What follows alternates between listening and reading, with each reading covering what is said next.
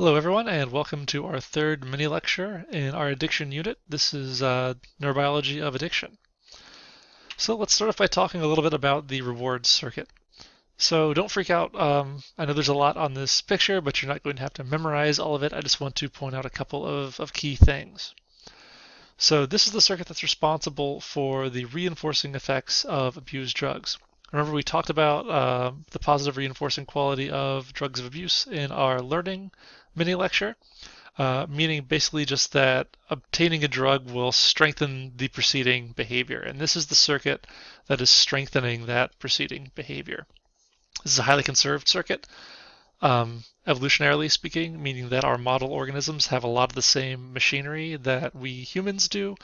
In particular, the structures we're spending a lot of time talking about, the, the VTA and the nucleus accumbens, are present in rats and mice just as well as they are in higher order species like uh, non-human primates and humans. And a lot of the other structures that we'll mention here as well are also uh, present or a similar structure is present. So uh, zooming in a little bit more here, I want to say that different drugs activate different receptors in various parts of the circuit. That's a general statement. Um, but we're going to talk about in, more detail about these uh, particular mechanisms as we move into the units where we are discussing these particular drugs.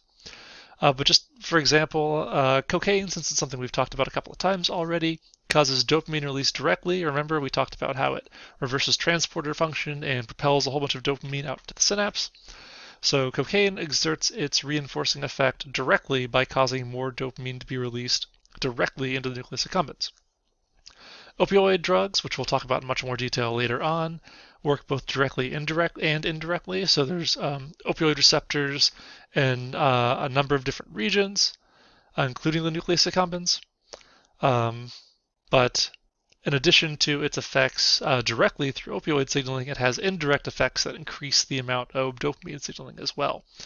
Uh, that's kind of a common thread that we see with most reinforcing drugs is that they enhance dopamine release in uh, this pathway.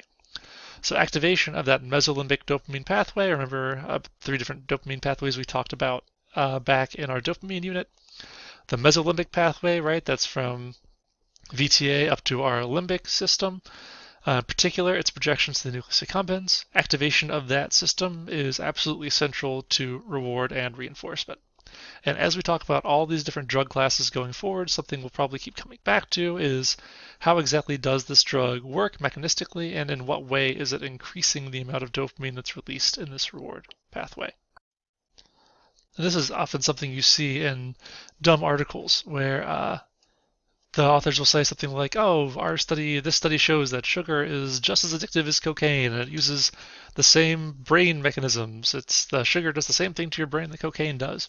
In a very um, generous interpretation, you could say that's true because reinforcement in general recruits this pathway. So anytime you eat food that you like, or get money, or do something else that you enjoy, you have dopamine release in your nucleus accumbens but it's not in the same order and not in the same exact way that drugs of abuse do.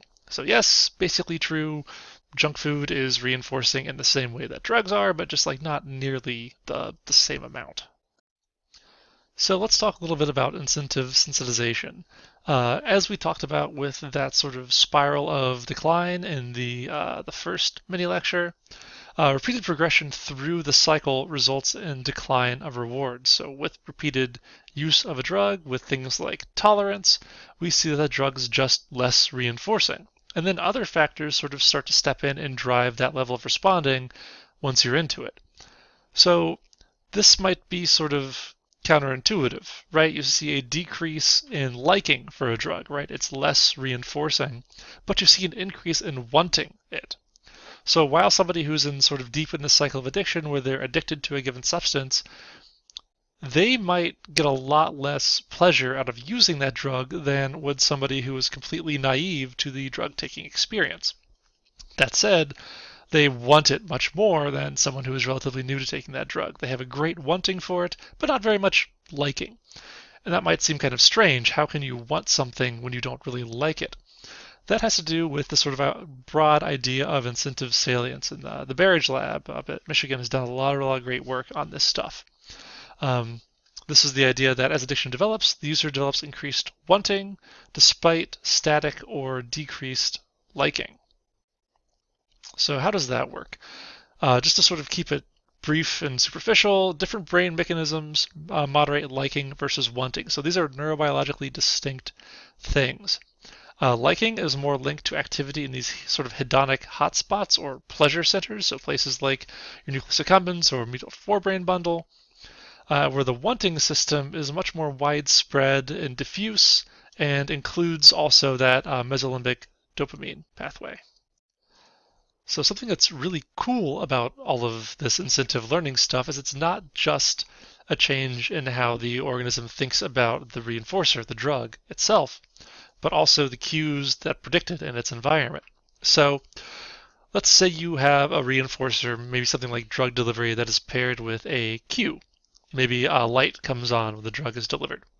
Initially, that reinforcer is really meaningful, and the cue is not so meaningful. It's just a light.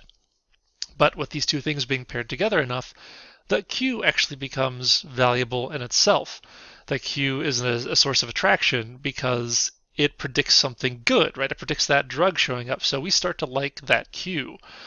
Um, that's an incentive process, right? So some incentive learning takes place, and that cue actually soaks up some of that value. The cue becomes valuable in itself. So what we see if we sort of remove the reinforcer from the situation entirely and present the cue by itself, what do we think might happen?